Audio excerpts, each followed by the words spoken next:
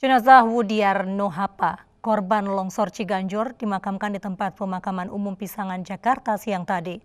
Suami almarhum yang merupakan salah satu korban luka turut menghantarkan sang istri ke tempat peristirahatan terakhir.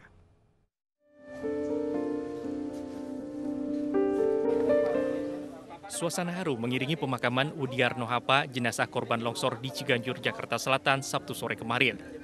Udiar dikebumikan di tempat pemakaman umum Pisangan Ragunan, Jakarta Selatan, Minggu siang.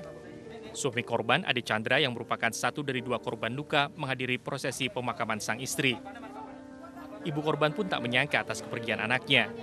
Korban dikenal sebagai sosok yang baik dan sayang keluarga.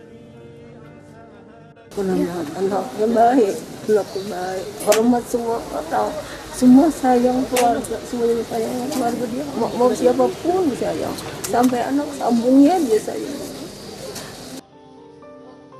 Selain mengakibatkan korban jiwa, longsor di Ciganjur ini juga mengakibatkan banjir dan ratusan warga terpaksa mengungsi.